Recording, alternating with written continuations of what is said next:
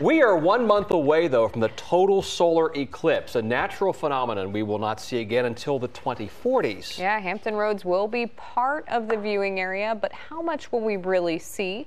Chief Meteorologist Jeff Edmondson and meteorologist Ricky Matthews are both live on Patio 10 with a look through Telescope 10. Tell us all about that.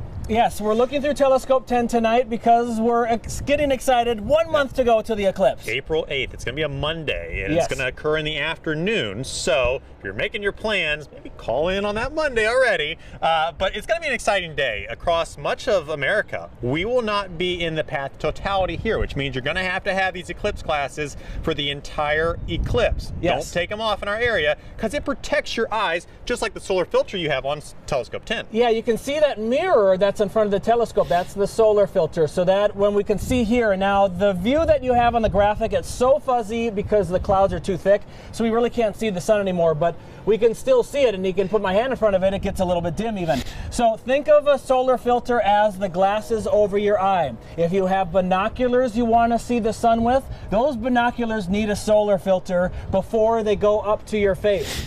The glasses do not protect your eyes if the uh, binoculars do not have a filter on them. Because remember you're magnifying the sun. So just remember filter first then to your eyes. Yep very important. So let's talk about where you are going to want to travel to if you perhaps have a slightly better chance of having less clouds that day, or if you want to see the path totality. That's going to be in parts of the southwest United States. Texas historically has the lowest chance of cloud cover on April 8th, of course. Weather patterns depict that. Uh, climate is an average over time. Weather is a one-day thing. So if you're going to travel that path totality, keep in mind weather could vary that day. Closer to home, you can travel to Ohio, parts of uh, Illinois, uh, Indianapolis, Indiana, and also Illinois, excuse me, and those are some of the closest spots where you can see totality. Yeah, easy spots to drive to if you want to. If you want to fly, you can go to those other spots, maybe Texas perhaps, or you can go towards Maine if you want to go into those locations. We saw the average cloud cover. Remember, that's just the average, so I'll keep you up to date on those clouds as we get a little bit closer to that. For us, once again, we're not going to be in the path of totality, meaning that we need the glasses the whole time. 78% of the sun will be blocked by the moon it'll look similar to that. Let's get into our forecast now for the rest of the night. We have the clouds that are off to our west. These clouds are going to continue to thicken up as we go into tonight. We have the rain that's trying to move in too as we go into the rest of the night. Ricky, you can continue to advance those graphics. Someone's in a hurry. All right, uh, there's the rainfall that's off to the west. We do have a risk to maybe see some stronger thunderstorms Saturday towards the end of the day as the front gets closer.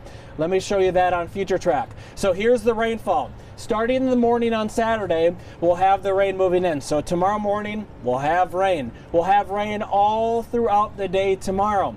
1 o'clock, we have the rain. 5.30, not as much, but still some scattered showers and maybe some sprinkles. Chances for rain in the evening. And then into Sunday, we're looking good. We'll finally have a long stretch of dry weather coming starting on Sunday and going into the future. Here's a look at the rainfall totals that we might see. Remember, if we get thunderstorms that develop, we could see these totals jump up to an inch.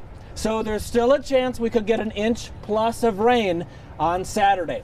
Here's our temperatures into tomorrow. We can skip ahead to the seven day actually, Ricky, uh, okay. because we're going to see not dry weather tomorrow. We'll have a good chance for some rain across our area. Here's your seven day forecast and look at all of that sunshine. We're going to see sun starting Sunday into Monday, Tuesday, Wednesday, Thursday, and Friday better use for the telescope to look at the sun then as we'll have some more sunshine and hopefully ha we'll have sunshine on April 8th for that solar eclipse. We'll have more reminders as that gets closer. Remember, you need to get your glasses now. They do have these for sale at some of the big box hardware stores and some of the outdoor store out for outfitter shops so you can get these.